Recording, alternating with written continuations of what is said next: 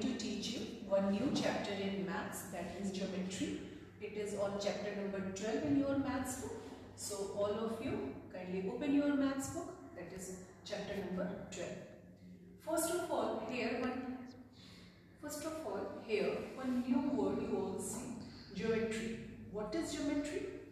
Geometry is the branch of mathematics that deals with shapes, angles and size of a variety of things we see in every day. So here in simple words you can say what is geometry? Geometry is the branch means geometry is also a type of mathematics जो हमें बताता है किसके बारे में about shape, angles and sizes of our daily which we see in our daily life. Now come to here that from where geometry comes. Geometry word from where it's the origin of that word. Geometry is derived from ancient Greek words. From two words geometry made geo plus metron. So geo means earth and metron means measurement. When you are going to write geometry in whole, then it is the combination of two words that is geo and metron. So geometry. Geo means earth and metron means measurement. And you all know very well about what is measurement. And earth that where we live that is called earth. So there is nothing in new in earth. So in the short you can say geometry is the word or geometry come from ancient Greek which made by two words geo and metron.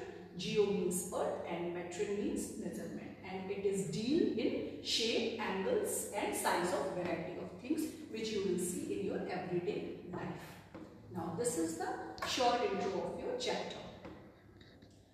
In this chapter, in your geometry chapter, you will learn about two things. First is line and second is shape. So first of all, we will go with line. So the concept of straight lines and curved line.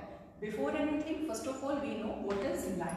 So line is, a line can be defined as a straight set of points that extend in opposite direction. You can see here, I have drawn here one line that have two points which you can, you can just uh, extend it from any direction from right side or left side because the line has no end. At the second point you can see here I also written it has no ends in both direction. See here I made here one two arrow both side so it means it has no end. Now come on the second point that is line segment. So what is line segment?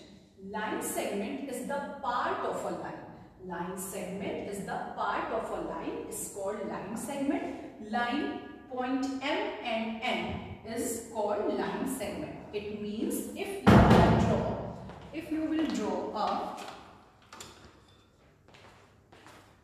if you will draw a line this is a line. It means it has no end. You can move it from here no no end and this side also you can extend it it also have no end but here if you will put here one point and the second point here and this first point is m and the second point is n it means this is from here to here is line segment line segment line is the line segment is the part of a line. It means it consists, a line consists many line segments like MN, you can also here make OP like this. So this is also a line segment. Line segment, so it means line segment have n points. See here, one point is here and one point is here. It means if I will draw, I will draw, draw here one more. So it is called line segment means if the line is end at any end it means this is a line segment. If there is no end of line it means this is a line